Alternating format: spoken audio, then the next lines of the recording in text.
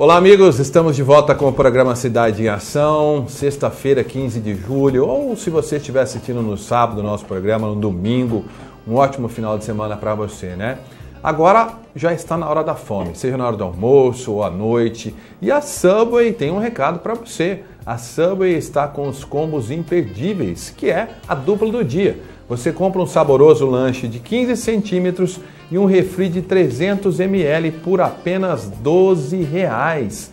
E nessa sexta-feira você saboreia o peito de peru mais um refri por apenas 12 reais, né? E no sábado é a vez do steak de churrasco e mais um refri por 12 reais. É muito barato, é duplo do dia. A Subway agora com duas lojas na cidade de Ourinhos, ali na Cardoso Ribeiro e também lá em frente ao Pão de Açúcar no posto Brigadeiro, né? E olha, no Subway você também pode optar pelo baratíssimo, isso mesmo, um delicioso sanduíche de steak de churrasco por R$ reais na hora certa. Subway, manda bem, manda Subway. Bom, nosso convidado, outro convidado nosso muito especial hoje, o Távora, que está conosco aqui para falar sobre motivação. Tudo bem, Távora? Uh, melhor agora. o Távora vai falar conosco daqui a pouquinho, mas antes, gente, eu quero falar o seguinte: o nosso assunto é sobre saúde. Depois de quase um mês, a carreta da mamografia do programa Mulheres de Peito, que estava instalada na Praça Melo Peixoto, para exames de mamografia, não é mesmo? Deixa a cidade de Ourinhos com um saldo positivo. Vamos acompanhar a reportagem de Ariane Sales e saber quantos exames foram realizados nesse período. Vamos ver. A líder do SCI Cooperativa, Márcia Rotti, faz o acompanhamento das mamas anualmente só para garantir a saúde, já que uma parente dela morreu vítima da doença. Para Márcia, prevenção é palavra de ordem. Através desses exames, nós vamos evitar cânceres em estado avançado, cânceres primários, né? É, nódulos que podem se transformar numa, em câncer, porque muitas vezes o nódulo é benigno, mas com a falta de cuidado, uma alimentação errada, ele pode vir a ser um câncer maligno, né? E através dessa oportunidade, muitas mulheres podem ter a vida salvas. É isso que eu creio, é salvar vidas mesmo com esse projeto fantástico. Aqui na carreta da mamografia foi a primeira vez que você fez o exame, mas isso já é rotina na sua vida? Sim, é rotina. Eu faço anualmente, né? Eu faço acompanhamento e esse ano eu não fiz, mas apareceu essa oportunidade. E como eu já tinha que fazer mesmo, eu achei fantástica porque eu tinha perdido, né, o exame e eles me ligaram para mim remarcando e hoje o atendimento só para os atrasadinhos, né, para os inadimplentes como nós. A carreta móvel do programa Mulheres do Peito chegou em Ourinhos no dia 14 de junho, quando iniciou o atendimento às mulheres de 35 a 50 anos, num veículo equipado com mamógrafo e aparelhos necessários para a realização dos exames. A carreta, que se tornou símbolo dos cuidados da saúde da mulher, está se despedindo da cidade de Ourinhos e depois de quase um mês aqui na Praça Melo Peixoto, ela sai do município com um saldo positivo. Foram atendidas em torno de 750 mulheres. E dessas, desses atendimentos, Juliette, é, alguns precisaram ser encaminhados ao AME, algum setor responsável aqui em Ourinhos? Então, em torno de umas seis pacientes foram encaminhadas, mas a gente ainda está aguardando mais exames retornarem de São Paulo para a gente ter um resultado final. Vocês saem daqui com um resultado positivo com relação à quantidade de pessoas que passaram pela carreta da mamografia? Ah, sim. O, no, no caso, a resposta ao projeto na cidade foi muito boa. Você pode sentir que a população realmente aderiu, principalmente as mulheres, é claro, porque é um símbolo para a mulher. Com certeza. O câncer de mama é o que mais atinge as mulheres e, segundo estatísticas, ele responde por cerca de 25% dos casos novos a cada ano. Por isso, a importância da realização do exame de mamografia anualmente. Então é importante porque, como é, nas mulheres é um caso mais diagnosticado maior, tem que estar realizando por conta é, na família, está com algum tipo de alguma coisa na mama diferente, está realizando o exame. Outra ação também é bastante importante, está tendo esse toque, porque é uma doença que está avançando bastante. Como também nós não comemos bem, a nossa vida é um pouco corrida, a gente acaba deixando, isso só vai avançando. Então é importante estar tá vindo direitinho a cada ano ou a cada seis meses com o médico diagnosticar alguma coisa a mais e estar tá se cuidando. Márcia aprovou o projeto da carreta de mamografia da Fundação Instituto de Pesquisa e Estudo de Diagnóstico por Imagem. VIP. Foi maravilhoso, desde a recepção, as moças lá dentro, é, o material e equipamento, né? Eu que faço todo ano, eu faço em clínicas, é, não tem diferença, realmente é fantástico. Importantíssimo esse assunto e principalmente que as mulheres tenham a consciência de se prevenirem, né? Pois dentre todos os tipos de câncer, o de mama é o mais comum entre as mulheres aqui do Brasil. Muita atenção. Agora, continuando o assunto saúde, vamos falar de vacinação. Esse ano, o governo resolveu fazer mudanças e a vacinação contra a poliomielite sofrerá um atraso. Isso mesmo. A campanha será realizada só em setembro. Vamos entender melhor com as informações que a repórter Ariane Sales tem para gente. A vacinação contra a polio é adiada em um mês este ano. A campanha nacional contra a paralisia infantil será realizada no mês de setembro e terá algumas mudanças. Em vez de imunizar todas as crianças entre seis meses e cinco anos com a tradicional gotinha, a proposta é vacinar só o grupo desta faixa etária que não está com o esquema vacinal completo. Ao todo, são cinco doses, três injetáveis que devem ser aplicadas aos dois, quatro e seis meses meses de vida. Já a gotinha deve ser dada como reforço aos 15 meses e aos 4 anos. De acordo com o Ministério da Saúde, só quem não estiver neste esquema completo deve receber uma dose no posto no dia da campanha. A pasta informa que a mudança na indicação da vacina atende recomendação da Organização Mundial da Saúde. A meta é acabar com a gotinha até 2020, de forma gradual. A vacina contra polio injetável é recomendada por ser mais segura.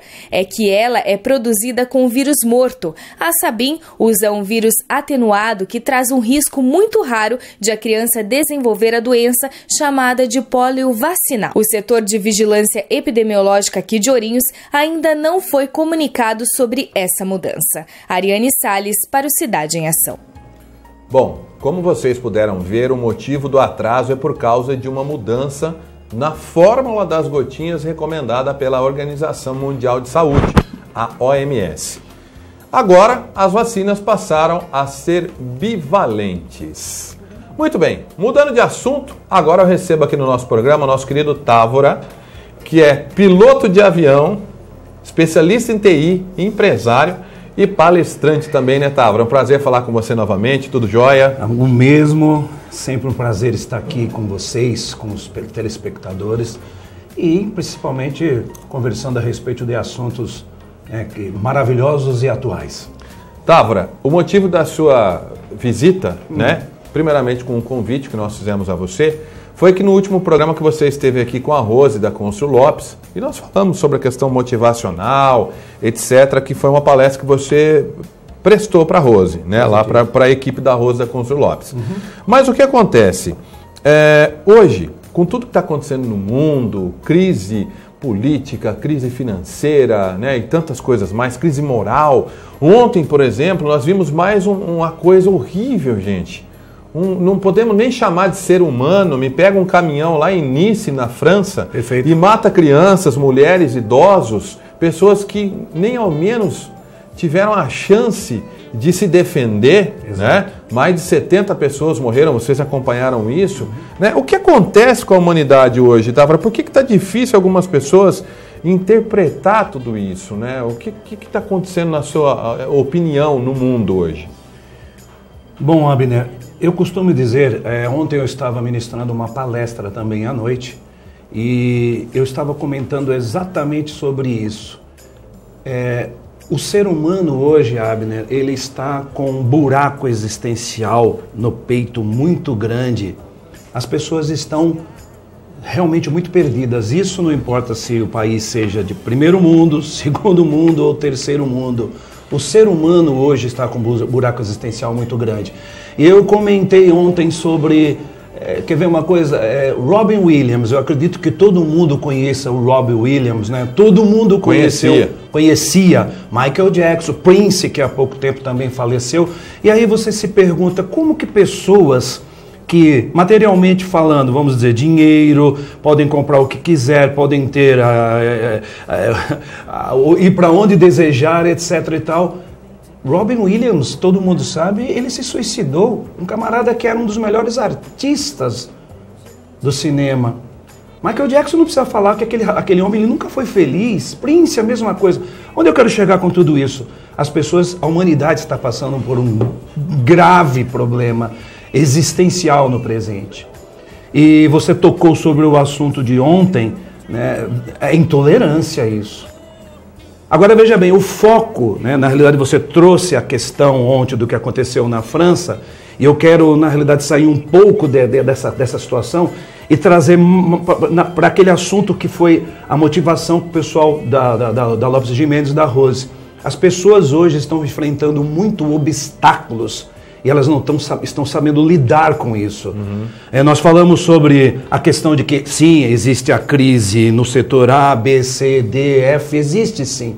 Mas se o ser humano, em primeiro lugar, não acreditar que ele possui a força suficiente e a energia vital para ele transformar o meio ou a situação o qual ele está ali encaixado, ele vai ficar sempre na dependência. E por falar em dependência, isso que mais dói. O ser humano, ele sempre espera que alguém faça algo para ele e que venha melhorar a situação dele. Por exemplo, se você mora numa cidade A, você diz assim: "Ah, a minha vida está não está indo muito legal, meu negócio não está indo muito legal, porque ou é o governo local, ou é o governo federal, ou o ser humano costuma, costuma colocar a culpa do, do, do, do insucesso dele em alguém. E ainda, pior disso, Abner, esperar que, olha, quando trocar a política, ou quando trocar isso, ou quando. Aí você vai ver, vai melhorar tudo para mim. Eu costumo dizer também que é assim: às vezes, independente da religiosidade das pessoas, as pessoas costumam é, orar, rezar para conquistar algum, algo que está faltando, como emprego, como é, é, alcançar, melhorar a situação financeira, etc. e tal. Mas também é assim: ora, né, é, tem vontade, mas aí a senta no sofá de casa. É, hora tem vontade, mas tem preguiça. Tem pregui... senta, no sofá é de, é, senta no sofá de casa e fica esperando que alguém passe na rua e diga a assim. espera de um milagre. É, é você que está precisando de um emprego que ganhe 4, 5 mil reais. Eu adivinhei passando em frente à sua casa. Isso não existe. Nós temos que enfrentar obstáculos e saber que obstáculo na vida é uma grande oportunidade para o desenvolvimento, entendeu? Agora a pergunta para você, Taura, como enfrentar esses obstáculos? Porque as pessoas, na verdade, acredito eu, já vivi isso, uhum. falta muita atitude, né? Sim. A pessoa tem fé, ela tem sonhos, Sim. tem vontades, tem as necessidades, porém falta atitude. Uhum. Como enfrentar os obstáculos? Então, enfrentar, um ob enfrentar obstáculo ou obstáculos é uma questão de, em primeiro lugar, acreditar que você é a própria energia do universo. Acreditar que você pode e, e transformar qualquer obstáculo né, em oportunidade para o seu desenvolvimento. É fácil? Não é fácil. Eu posso compartilhar com vocês, o Abner, né, ou com você, Abner, um, um fato na minha vida? Deve. Quando eu, quando eu saí do setor elétrico que eu trabalhei a vida inteira e resolvi, é, na, eu, na realidade eu adquiri uma empresa aqui na região, é, no primeiro ano, é, na realidade eu faltou muito, faltou pouquíssimo para eu jogar a toalha no chão e falar, não, eu vou desistir. Uhum. Mas eu tinha, na realidade, total determinação e confiança de que só eu poderia fazer a transformação do, do veneno em remédio. O que foi isso? Vamos lá. Simplesmente eu vivi a vida inteira com, é, frequentando hotéis, o qual as empresas pagavam, né, de 250, 300, hotel 5 estrelas, 4 estrelas, a melhor refeição, tudo pago pela empresa. Meu amigo, você sabe o que eu tive que fazer no primeiro ano para conseguir conquistar e fazer da minha empresa o que ela se tornou hoje? Eu dormia num hotel de 30 reais na rodoviária, perto de uma rodoviária. Eu pegava um marmitex, sabe o quê? Para falar, não, hoje eu tenho que passar por isso, porque amanhã, com certeza, eu, eu vou conquistar e vou transformar a situação. Foi o que aconteceu. É comum você encontrar as pessoas e falar: escuta, como é que está o teu objetivo? Você concretizou? Como é que está a tua empresa? Ou seja lá o que for. Ih, rapaz, eu até tentei, mas foi tão difícil. É, ah, eu tentei, mas não deu certo. A pergunta é: você foi até, até onde você poderia ir? Vence aquele que aguenta mais. Vence aquele que acredita mais. E não é para especiais, não, pessoal. todo ser humano possui a sua energia vital, o qual ela, ao ser manifestada, lhe dará todas as condições para que o universo possa conspirar a seu favor. E você se tornar vitorioso. Basta acreditar. Essa é a realidade. Távora, olha, é, é, muito bom receber você aqui no programa porque você dá uma injeção de ânimo, né? Obrigado. Eu sempre falo que existe uma palavra que se chama automotivação. O que, que é isso? É aquela força que faz você acordar às seis da manhã, ou às vezes até mais cedo, levantar e encarar talvez um congestionamento, talvez uma série de desafios que você vai encontrar durante o dia, muitas vezes sem ouvir uma palavra de apoio, de ajuda, de auxílio, enfim, aquele dia que parece que tudo vai dar errado, enfim, está com um monte de problema para resolver. Mas essa força interior que nós chamamos de automotivação, Sim. Né, hum. ela pode ser baseada em algumas coisas. Né? Às vezes, como, como é no meu caso, Sim. já passei por situações que eu estava com tanto problema, mas eu falo, mas por que, que eu vou? Por que, que eu vou levantar? Por que, que eu vou encarar isso novamente? Né? Então você encontra motivos para isso. Ou Perfeito. seja, um filho, uma filha, ou pessoas que dependem de você, ou um sonho que você quer realizar. É importante nós termos um sonho e um objetivo também, né? Com certeza. Você falou num. Você tocou num assunto extremamente importante que eu, eu quero fazer um comentáriozinho breve. O levantar. Gente, quando nós estamos passando por situações adversas, obstáculos enormes na vida, eu também passei por isso. Você não tem vontade, às vezes, de levantar e se questiona, né? Eu vou levantar para quê? Aí é que está, Abner, exatamente a diferença entre se tornar um perdedor e um vencedor na vida. Vocês sabem que o que determina a vitória e a derrota, na realidade, é aquela postura diante do obstáculo? Não existe na vida meio vitorioso ou meio derrotado. Não existe. Ou é vitorioso ou é derrotado. E quem determina isso é você. É fácil? Não é fácil.